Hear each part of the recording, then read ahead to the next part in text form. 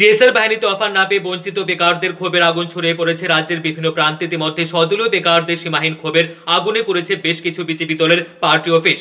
এবার ক্ষুব্ধ বেকাররা একজোট হয়ে বিক্ষোভে সামিল হলেন ত্রিপুরা হাইকোর্টের সামনে রাস্তায়। মূলত স্বজন প্রশ্ন বহুবিধ দুর্নীতির অভিযোগ এনে এই বিক্ষোভ প্রদর্শন বঞ্চিত বেকারদের। এই প্রসঙ্গে টিএসআর চাকরি বঞ্চিত বেকারদের বক্তব্য হচ্ছে। নাম আর বাকিটি কই? আর বাকিটি কোথায় গেছে? এটা আমরা জবাব দিতে হইব আমরা চাকরি দিতে হইব, দিতে আমরা নাহলে এটা এখান থেকে লোকতাম না। কাছে আমরা বাইশশো ভোট দিতে হইব, আমরা সবার এখানে শেষ। কেউ ছাব্বিশ বছর হয়ে গেছে গা। যদি আমি যদি তিন তিন মাস আগে যদি তেইশ বছর হইবার, তিন মাস আগে যদি আমি যদি কাগজপত্র জমা দিই, আমার এখন বয়স কত? আমি কই যাব আমি কি খামো? জবাব দিতে হইব মুখ্যমন্ত্রী আমাদের সবাই চাকরি দিতে হইব, আমরা আর কিছু জানি না সবাই চাকরি দিতে হইব। সবাই বাসগ্রহণ করাইছে, আমার চাকরি দিতে হইব। আজকে হাইকোর্টের সামনে কি- মানে কি কারণে আইছেন আপনারা? আমরা তো চাকরি দিতে হইবে এই কারণেই আমরা এখানে আছি আমাদের হাইকোর্টে আসা এই কারণ যে আমরা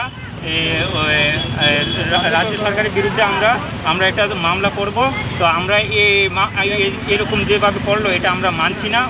উনি কিছুদিন আগে আমাদেরকে সোশ্যাল মিডিয়ার মধ্যে বলেছিল যে বাইশশো পোস্ট নেওয়া হবে। ঠিক আছে বাইশশো পোস্ট নেওয়া হবে বলেছিল। তো ওইটার মধ্যেও আমাদের কাছে পুরো কোর্ট আছে। তো ওইটাও নেওয়া হয়নি এখনও।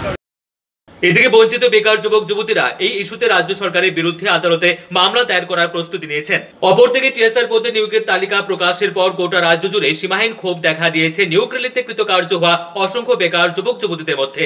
Bureau report, হাল্লাবো।